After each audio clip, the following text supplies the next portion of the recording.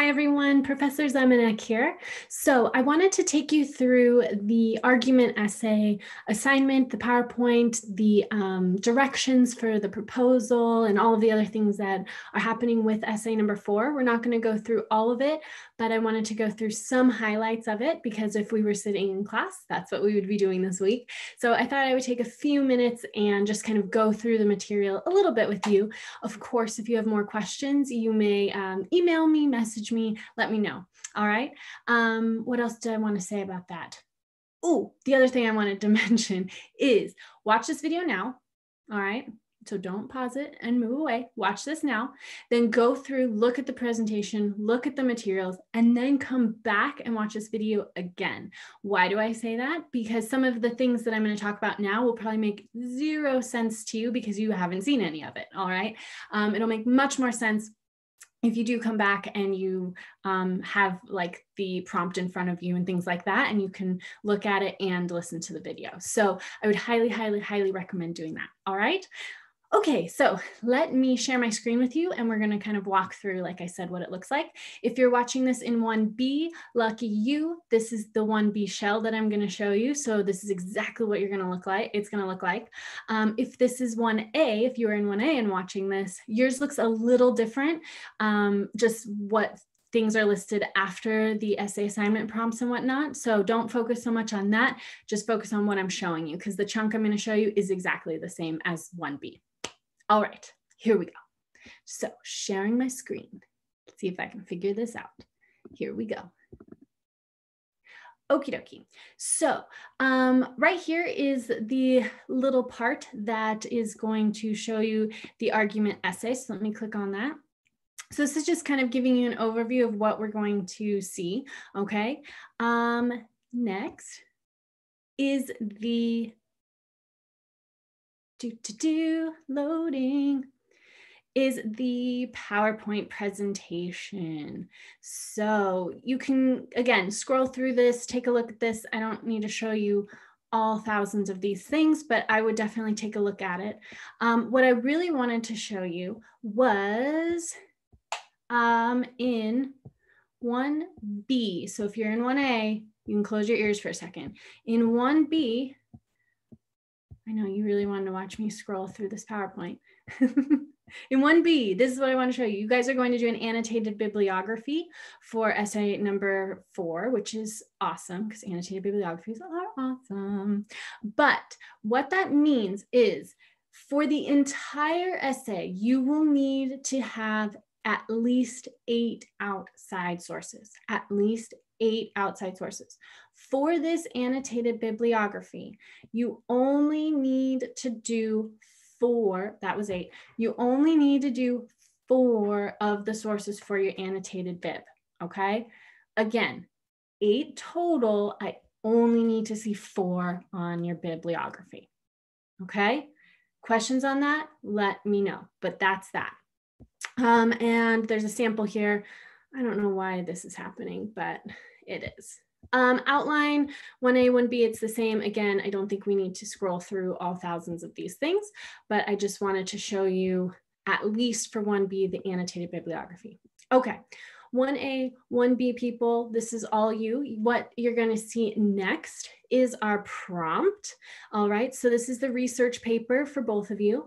Um, and it looks very similar. There's just a few different requirements, but otherwise it looks very, very similar. The thing I want to mention about the prompt is this. So I have a limitation on topics. As you'll see here, they're kind of the big hot button topics. Um, abortion, cloning, death penalty, gun control, those sorts of things. Why do I limit them? Well, it says here, I, I limit these only because I think people default to these. So they think I've got to write a research paper. What's a big hot button topic? Gun control, boom, I'll write about that. But you don't really care about gun control, right? You just need a topic.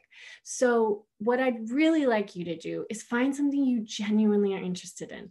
I've had people write about cats, I've had people write about uh, literature. I mean, I've had people write about thousands of things data mining, why Amazon is like evil, so many things.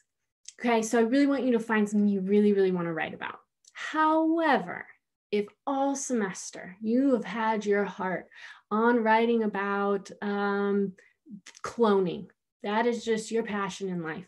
Send me an email and we can talk about it. Okay. I'm not saying no, you can't even mention these to me. Like if like if you really, really want to, that's one thing. But I don't want you to fall back onto these things. So if you have questions or you're not sure if your topic is going to work, always let's chat about it, okay? Either via email, message, or through office hours.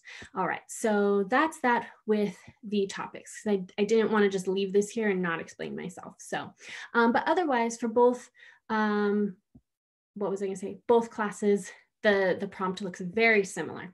For 1B, you just have an essay prompt, and then the next little slide here, do, do, do, clicking, You've got your proposal, your annotated bibliography, and your outline directions, which look like this.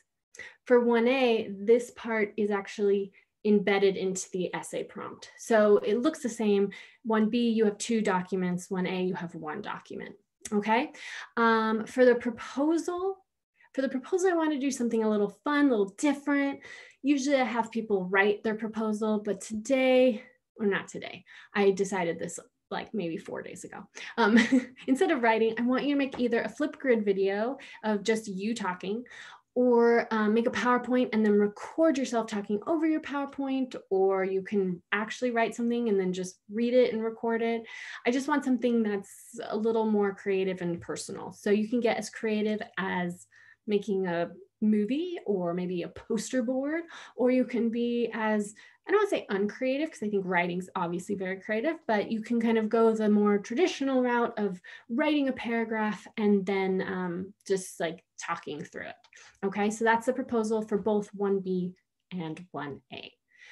Um, directions for the annotated bib, 1B, I'll let you take a look at that. If you have questions, we'll go over it more next week. And then both 1A and 1B, you guys are doing a wonderful detailed sentence outline. I know people hate outlines. I love a good outline because it's going to really, really help you um, organize your thoughts before we get into the essay itself. These are big papers. And so if we just dive in, it can be really scary and weird and exhausting. Um, so I've had a lot of people tell me that they were dreading doing the outline. They did the outline. And then once they started writing the paper, they were like, yeah, thank you. Um, and some people were like, no, that didn't made, made no difference. But I hope it's helpful. That's the goal. I'm not just trying to assign busy work. Okay. Um, and I think that's all I wanted to share with you on those things. So again, right now, this probably seems like a bunch of different information coming at you and you haven't looked at any of this. So you probably have no idea what I'm talking about. But if this is your second time or third or millionth time watching this, but you've uh, looked through the material, I hope that's making a little bit more sense. So anything else I wanted to share with you about that? I don't think so. So I'll stop sharing my screen. Um, so yes, I have office hours Monday through Thursday from two to three. You can come see me if you want to chat about the essay, about anything at all. Um, and if those times don't work, just send me an email. We'll find a different time. Um, it's not like I'm really going anywhere, you know? one day, one day as I look out my window.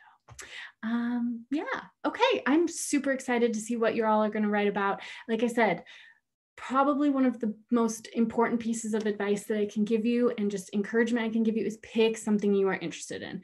Even if it's very strange and even if I have no idea what you're talking about, if you write a good enough paper, I'll be in it and I'll be I'll be excited to uh, hear about it. Okay?